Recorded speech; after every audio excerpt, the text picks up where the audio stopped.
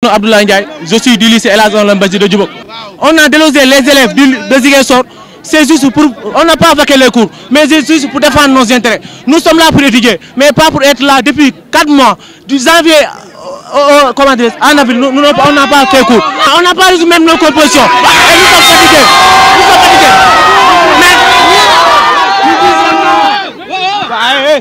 Nous voulons que le président, notre cher président, son excellence, M. Macky Sall, de prendre ses dispositions pour les professeurs, pour que nous puissions travailler. Nous sommes là pour travailler, encore une fois. Se faire. Sinon, on passe aux choses sérieuses.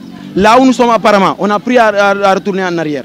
Parce que moi, il y a un tata que j'ai vu même, je me suis couché comment dirais euh, par terre pour qu'il me tue. S'il me tue, je saurais que je suis en train de défendre voilà, ma vie, je peux dire. C'est ce qui a fait que je suis tué. Oui, oui, oui, nous craignons vraiment. On a, on a perdu d'espoir. Quand je tiens un cahier pour apprendre le cours, je ne peux plus parce qu'il y aura année blanche. J'ai ça dans mon esprit enregistré. Mohamed Diassi. Macky Sall doit nous aider.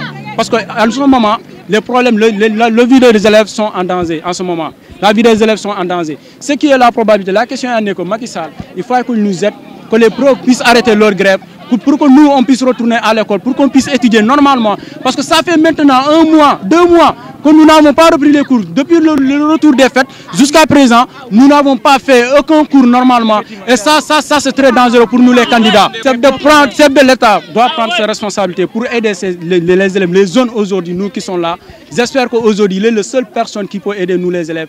On le supplie pour qu'elle puisse nous aider, afin qu'on puisse retourner à l'école, pour qu'on puisse préparer nos bacs normalement comme il le faut.